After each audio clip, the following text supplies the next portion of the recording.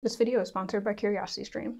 Check out the extended version of this video by signing up for CuriosityStream and Nebula at the link in the description. How would you feel if you found out that someone had used AI to generate your voice saying something you never said aloud? Fans of Anthony Bourdain have been reckoning this question over the last few weeks when it was revealed that the director of Roadrunner, a documentary about the life and subsequent suicide of Anthony Bourdain, used artificial intelligence to generate audio clips of Bourdain. And while this reveal certainly prompted a negative response on social media, it also raised a larger question surrounding the ethics of synthetic media and deepfakes. Welcome back to my channel. I'm Jordan. I'm a PhD student and science communicator who loves talking about emerging technologies and artificial intelligence. If you enjoyed this video, consider subscribing to my channel and check out the Nebula Plus version of this video for an in-depth discussion of how voice cloning works. To give a little bit of context, the documentary Roadrunner is comprised of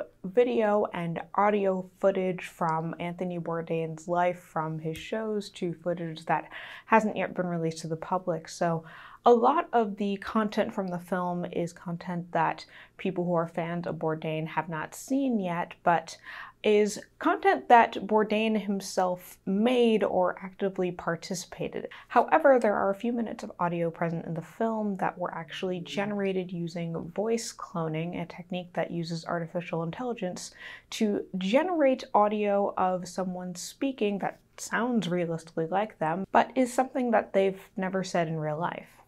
In this case, the audio generated was a narration of emails that Bourdain himself wrote, which adds to the uncomfortable ethical quandary that came up when this was revealed seemingly accidentally in an interview that the director did. And from what I can tell, a lot of the discomfort surrounding the director's choice to use voice cloning to narrate these scenes comes from the fact that this wasn't actually disclosed in the documentary. So if this hadn't slipped out in that interview, audiences wouldn't have known that that wasn't Bourdain speaking at the time. Interestingly though, this isn't the first time that someone has used machine learning methods to create audio or video footage of a person who had previously passed, nor is it arguably an example of someone using such methods to misrepresent the thoughts or opinions of the person being cloned. There's a great New Yorker article on this topic if you want to read more in depth from some researchers and journalists who deal in AI ethics all the time. But in short, a lot of the other examples of synthetic media being used to replicate the voices of the deceased have been in contexts where either we wouldn't expect a replication of someone's real voice. So, for example, an actress from The Simpsons' voice was actually recreated after she had passed in order to have her character reprise its role on the show. And in that case, because we're listening to a character voice, that use of synthetic media and that use of artificial intelligence is less concerning and generally less jarring because we're not representing the actress's opinions or thoughts, we're performing for a character. And in the case of the Nixon deepfake, which was generated by researchers at the MIT Media Lab, which I mentioned in an earlier video that I did on deepfakes, there was a lot of disclosure about the fact that that video was a deepfake so that no one going in had any misconceptions about what they were watching. And while synthetic media has been used to insert people who are deceased into popular modern media, most of the time everyone watching it knows that that person is in fact deceased and did not participate in this show or commercial or whatever it is that you happen to be watching.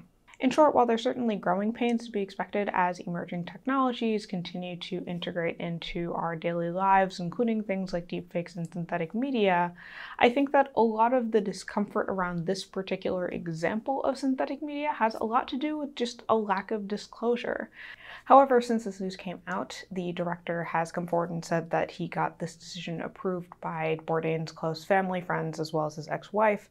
However, many of those people have come out and said that they weren't aware of how AI was going to be used to replicate Bourdain's voice or likeness, including the specificity of the narration of these few scenes. In short, while we've spent a lot of time on this channel talking about fairly clear-cut cases where synthetic media has either not been used for particularly positive purposes when it comes to revenge porn, or used for relatively innocuous purposes when it comes to generating photos of people who don't exist, creating a deepfake of someone's voice using the words that they themselves wrote but never said aloud exists in a weird gray zone that everyone seems a little bit uncomfortable with. And this includes Bourdain's loved ones who don't seem to have been properly looped into this decision and made public statements after the interview came out saying that they didn't realize the extent to which his likeness was going to be replicated. And to be clear, I'm not making this video because I think I have an answer to this question. I don't think I do. But I'm making this video because I think that this is a quandary that we're going to come across increasingly over the next several years as synthetic media becomes a bigger part of our lives. And at the end of the day, documentaries aren't exactly journalism as evidenced by every Netflix documentary that ever comes out and the criticisms of it that immediately follow. Personally, I think that the bigger issue when it comes to the Anthony Bourdain deepfake in particular is the lack of disclosure around it. I think that that should have been made clear clear in the documentary so that audiences knew that this wasn't real audio of him reading his emails. But I don't necessarily think that the actual generation and usage of the deepfake is that bad. After all, there aren't really any clear cut rules around how we use this type of synthetic media. Now, the point of this video wasn't to get too far into the details of how voice cloning actually works, but I did end up getting into the details of that in the Nebula Plus version of this video. If you're new to my channel, Nebula is a creator-built platform where you get to watch my videos ad-free and some of your favorite creators, including myself, can create and experiment with awesome content without having to worry about demonetization or paying tribute to the YouTube algorithm. We're thrilled to be partnering with CuriosityStream, a subscription streaming service with thousands of documentaries and nonfiction videos. Interested in learning more about foods from cultures around the world? Check out Food Markets, a series that takes you through markets across Europe. And where CuriosityStream is all about big budget nonfiction documentaries, we're building Nebula so that education creators have a place to make content that might not work as well on YouTube. On Nebula, you'll find ad-free videos from some of your favorite creators, from Marques Brownlee to Neurotransmissions to TierZoo, as well as my Nebula Plus content, which includes extended versions of the videos you see on my channel. You'll also find Nebula originals like Tom Scott's Game Show Money or a very good trivia show where I won $500 for drawing a very nice circle. CuriosityStream loves independent creators and wants to help us grow our platform, so if you click on the link in the description or use my promo code Jordan, you can get access to CuriosityStream for 26% off their annual plans, with Nebula included for free for as long as you are a CuriosityStream member. That's less than $15 a year. Signing up for CuriosityStream and Nebula is a great way to directly support my channel while getting to watch my videos ad-free and getting to see that Nebula Plus content. So sign up for CuriosityStream and Nebula using the promo code Jordan or at curiositystream.com slash Jordan. Otherwise, if you like this video, let me know by smashing the like button and subscribing to my channel. You can also check out the video I did on Tom Scott's channel where I made a deepfake of him, including voice cloning, if you're curious as to what that sounds like.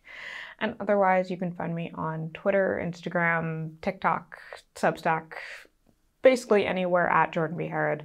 And I will see you guys next week.